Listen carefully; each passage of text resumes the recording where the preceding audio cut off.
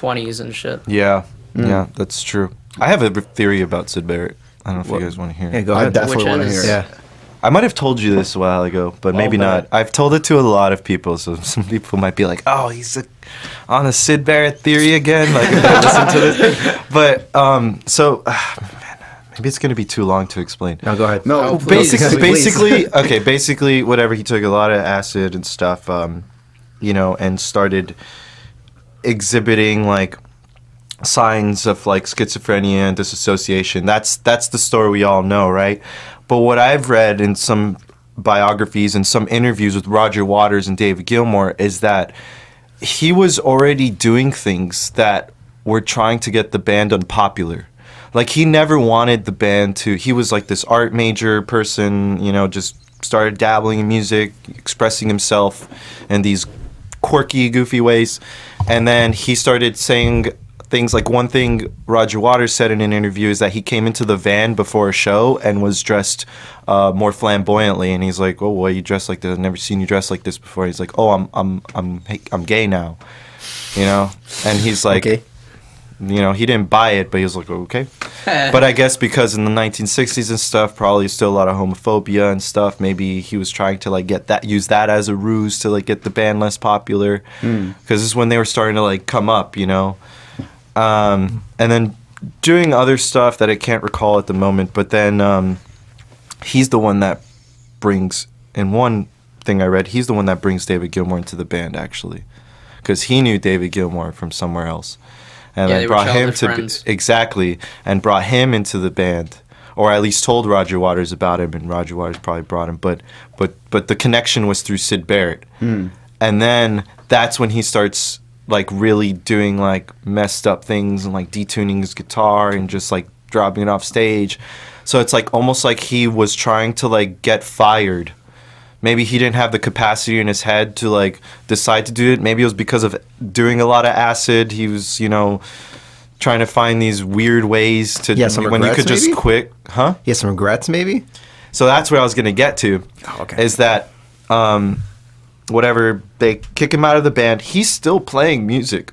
He still comes out with albums Yeah, he after he own gets solo albums. Exactly, Mm, yeah. and he's even touring. I went on this website that showed like all the Pink Floyd shows. It had it like cataloged since like the first Pink Floyd show ever, and then it shows like it has like markers in it, like this is when Syd Barrett starts, you know, exhibiting weird behavior and then this is when Syd Barrett leaves the band and then there's still like a bunch of shows that Syd Barrett's playing by himself after. Which, by the way, the albums were also produced by David Gilmour, Roger Waters, and Rick Wright. There you go. So they were still working with him. Yeah. Yeah. And then um whatever, I guess they stopped being in contact with him. I guess they go into his own that's when he stopped playing music. I guess became a hermit. And then the next time they see Syd Barrett is right after the most iconic album that made him a lot of money. It's Dark Side of the Moon. Yeah. They're back in the studio ready to record another album, and then Syd Barrett comes into the studio and he's like overweight. Oh, you is that know, that one picture? Yes. Where he's bald and overweight. where he's bald and shaved his eyebrows Yeah. and stuff. So I think this is probably in part of the psychedelic abuse he probably had, but I don't think it was necessarily him going schizophrenic. I think he just went like had like this weird way of being like I don't want to be in music anymore and then regretted it after they blew up.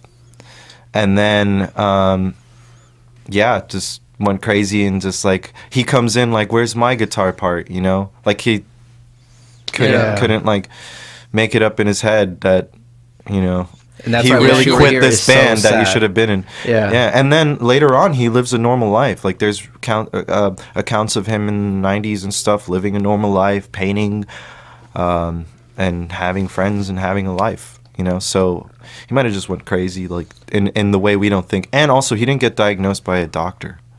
Well, this was also the 60s. Well, a lot of musicians got diagnosed before, like uh, Really? yeah, like Peter Green, Yeah, Peter Jim Green. Gordon, um, Brian Wilson for sure. Brian Wilson, Roky Erickson. You know, whether it was psychedelic abuse or or or uh, Yeah, I di- I natural didn't know about Peter schizophrenia, like he, yeah, they got diagnosed. There's like That's in their biographies it says they went to the doctor. Doctor said they were schizophrenic. Right. I, I would like to point out that this actually lines up really well. Your theory re- winds up with. Um, uh, I remember this because uh, it was really funny because there was like this Pink Floyd documentary, and they all of the all of the members of Pink Floyd get asked about Syd Barrett. Oh, he was such a he he was so great to work with. Oh, he was so great. He was a great friend. And then he gets the producer of, the, of Piper that gets done. He's like, I hated this dude. I could not stand. Like he did everything possible so we wouldn't get a good recording. Wow. Wow. Like he, And he was doing it on purpose. yeah, no, he would. So he would uh, mess up on like one part, right? And the producer's like, "Hey, man, why don't you play like this and maybe like, and then we can like overlay it or whatever." And then he goes in, back into the booth, plays something completely different, like almost to the point of like, uh, Well, he felt that it was like on purpose. Yeah. Where it's like, oh, let, let me give you this note, and then play something so different that it's like the note doesn't even make sense Like you're, anymore. you're like you're trolling them. I think, Yeah, I think it was on, it was definitely on purpose, but I think that was more not so they don't get a good. Re- I think that's just because he wanted to like constantly improvise. Yeah, there's 'Cause also what- that, that story of uh of like the last rehearsal that they had together. You know about that one? No, I haven't heard that. Uh, like the last rehearsal that Pink Floyd had with with Syd Barrett was just him. Like he comes in and he says he has a new song for the band, right? And um, so like, all right, let's hear it. He, and this is you know around like Saucerful of Secrets time, which if you like pay attention to Saucerful, there's only one song on there that's written by Syd, which Yeah, is Jug Band Blues. Blues. So then like when he comes in and he goes, I have a new song that I want you guys to play. Obviously, the rest of the band is like all perked up like all years. And he starts playing it, right? Shows it to the band. They're like, all right, cool. They try to join it along, right? And he stops them in the middle. He's like, no, no, no, that, that's not how it goes. It's, not, it's, like, it's like this. Then he shows it to them again. They're like, oh, okay, sure. They try again. He stops them again. He goes, no, no, no, that, that's, that's not how it goes. And then he keeps doing that over and over. But it becomes very clear that every single time he's just changing it a little bit Oh. each time to just kind of like mess with them. And he, he actually he started it, he said the name of the song was Have You Got It Yet? And then at one point after like messing with them for like 30 minutes, he looks at Roger and he goes, "Have you got it yet?"